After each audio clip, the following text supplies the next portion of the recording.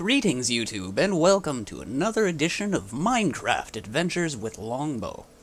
Uh, in today's episode, I invite you to my world of Distortia, where I'm going to show you, uh, my house, and some of the, uh, structures I've built around it.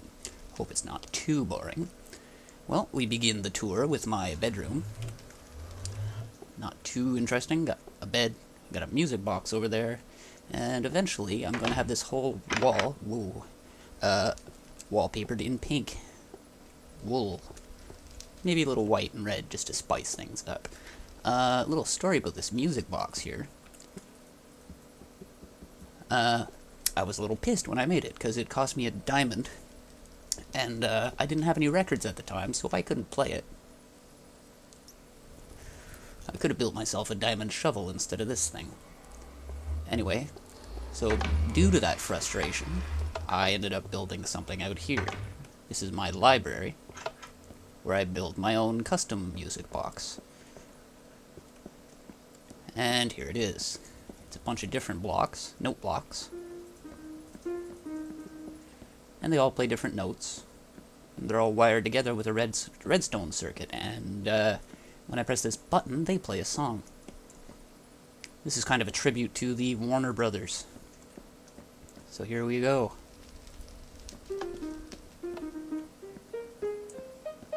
Oh! Bet you thought that was gonna blow up, didn't you?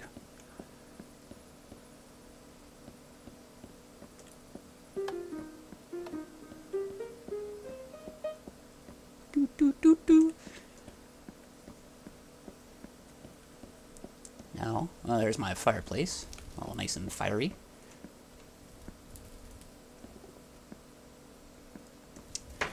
But uh, beyond this door is the circuitry for my little music box, and it fills this room back here. Basically, it's a bunch of uh, redstone uh, repeaters firing one after the other, just, so they delay the signal a little bit. And here's what it looks like from back here.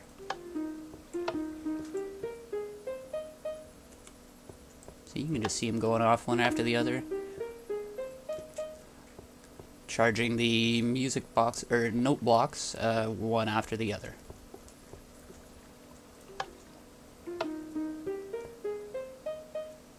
I got two in a row here because this one's a rather large delay.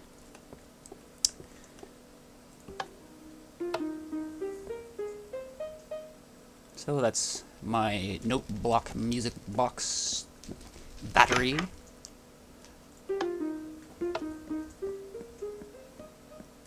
was kind of fun.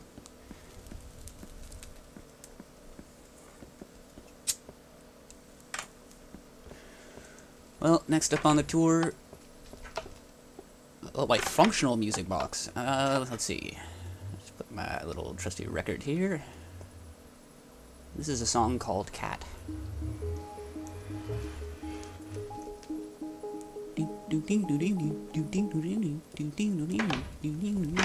Shortly after finding my first record, I ended up finding a second record, and it's exactly the same song. Go figure. Okay, uh, here we have my crafting area. Bunch of furnaces, crafting table, miscellaneous junk in the chest here. Got my doorway to hell. Uh, got my garbage pit right here. I just toss stuff in there that I don't want. Got my vodka dispenser this section of the house, we've got the food preparation zone and farm tool zone. We've got some farm tool there, farming supplies. I have a cake. The cake is a lie. And, uh, got some artwork here. This one, uh, I find confusing. It looks like a guy sticking his hand into a bowl full of fire. So I thought that was kind of cool. Onward to the outdoors. Here's the front facade of my house, made of obsidian, glass, and gold awnings. Got my channel slogan there, Sapientia Victim Ignoris, which in Latin means wisdom conquers ignorance. I got my little dock zone over here with a zombie patrolling it. Uh, we got a volcano here. Whoa! Die! And this thing uh, is a bunch of netherrack stacked up to the sky with the waterfall surrounding it. Yeah, I thought it looked kind of cool. Here I've got my quad lava pillar, which lands in my lake of fire. Makes a rather neat little pattern down there. You want to mess around, skeleton?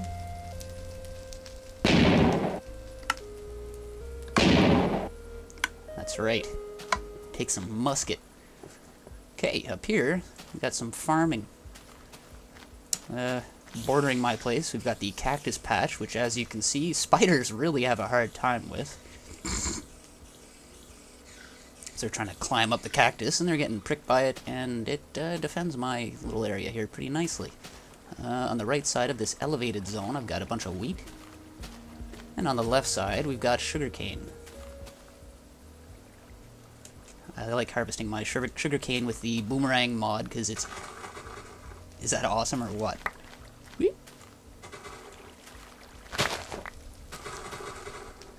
Just mows it down, brings it back to you.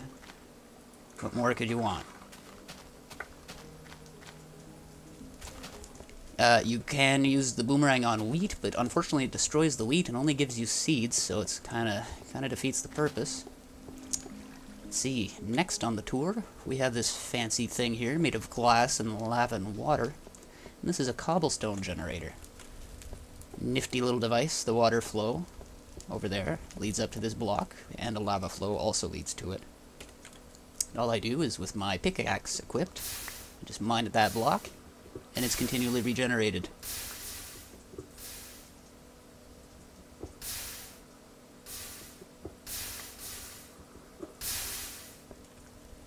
And I get free cobble out of that. Kinda neat.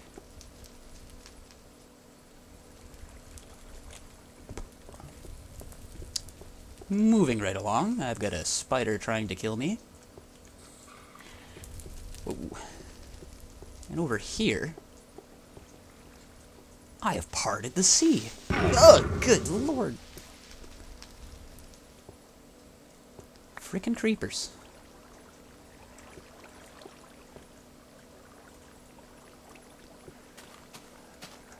And, uh, you're wondering how I did this, I'll show you a little hint later.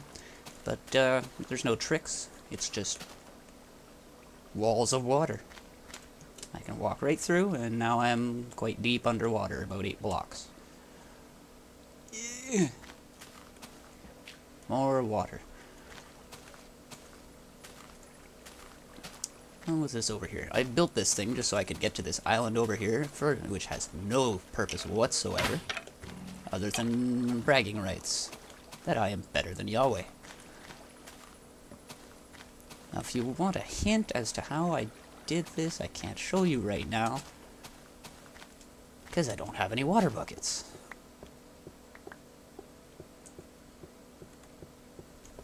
So let's just go get a water bucket and I will show you.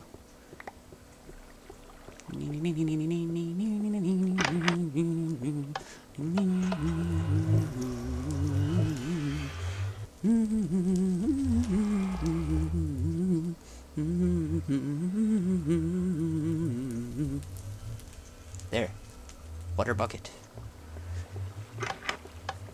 So, armed with my bucket technology, I'll pick up a block of water and show you how I build the waterfall.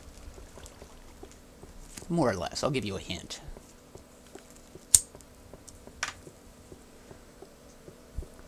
Can't give away all my secrets now, can I? So, if you've got a waterfall and it lands in a hole, the water doesn't flow. See, there's no spillage, no runoff. Or if it lands next to a hole, there is no flow. Oh, okay, I'm a liar. Kind of made a mess there. If you don't have a hole, it makes a big honking mess, like so. But that's basically how this whole deal works. There's just a bunch of strategically placed holes next to where the waterfalls are or directly below them, and the water falls into that, and not onto the dry area where I'm standing. Quite simple. No miracles needed. Okay, uh, next off. I've got some structures back here.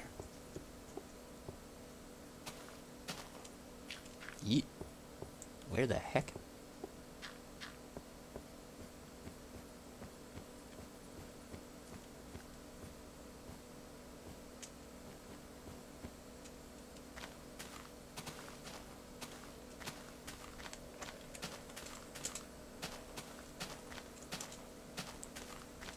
Now this little structure uh, up in front of me, uh, another creeper. I'm gonna blow this guy away with my trusty musket. Oh yeah, I love this thing. As I was saying, this structure up ahead here is my doggy kennel. I've got about uh, 17, 18 dogs. Notch calls them wolves, but I call them dogs because wolves don't bark. And if you listen carefully, these creatures are barking at me. So, therefore, they are dogs. Now, this lovely constru construct up here is my mob spawner. This thing took me a while to build. It took a lot of resources, a lot of time, but I'm glad to say that it finally works, and basically what this building is designed to do is generate monsters inside it, because it's pitch black inside, and monsters like to spawn in the dark, and uh, those monsters get swept by water channels down holes to the floor below. And at that floor, uh, they're swept down to another channel, etc., etc. I'm going to die. Get to the water real fast. Okay. It's one of the problems with having pools of lava lying around. You can accidentally fall in them. Kinda sucks.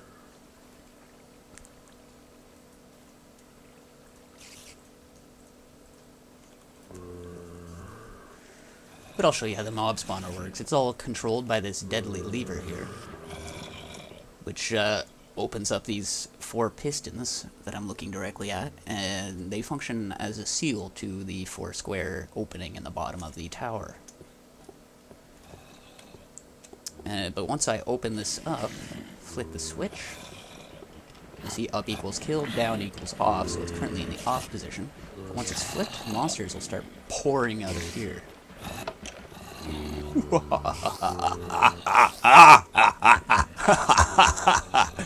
oh, yes. I love it. Basically, they fall to their doom down below here. Uh, sometimes they miss the hole. And you gotta be careful with these skeletons, they'll kill you. Because they'll shoot you on the way down. Ends up happening is all the monsters die down there, and I just go down my little chute here and pick up their remains and get oh, rich.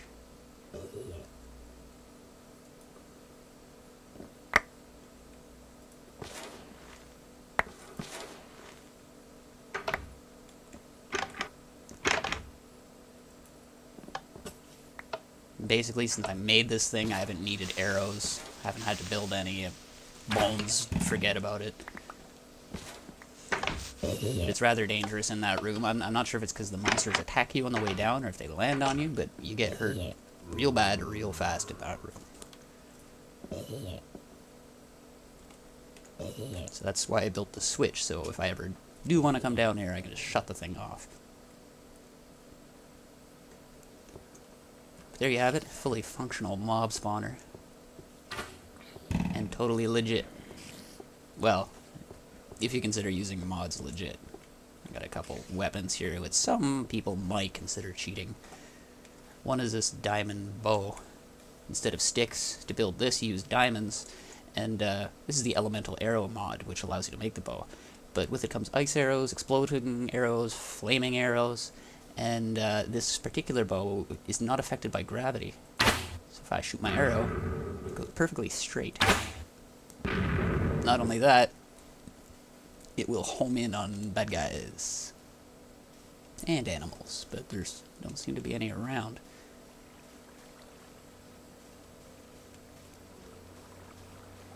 See if we can find one. Here, piggy, piggy, piggy. I want to light you on fire with an arrow.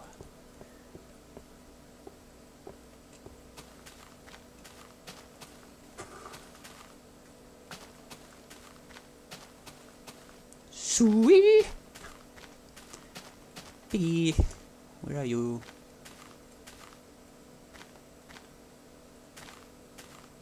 Okay, there's no pigs.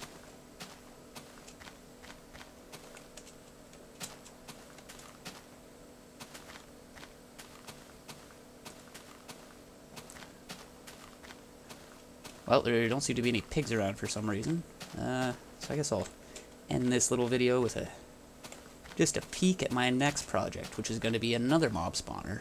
It's off in the distance there. I built it on top of a mountain, and it goes down deep into the mountain. And unlike this one, which stops at ground level, this one over here is going to go right down to the center of the earth. And at the bottom, instead of just having a gravity-powered uh, mob crusher, or mob grinder, as they call them in the biz, uh, it's going to have a selection. By flicking a switch, I'll be able to open different doors and either crush the mobs, or drown the mobs, or suffocate the mobs, or impale them with spikes. So that should be a lot of fun. There'll definitely be a video to show you guys that one. Anywho, uh, I guess that concludes the tour for now. I can show you some more stuff, but this video ended up being half an hour, and I don't think you'd be able to sit through it. So, until next time, adieu. This is Longbow and his monster-crushing edifice of doom signing off. Oh, and here's a big uh, wooden sword I built. Yeah, that's it. Anyway, see ya.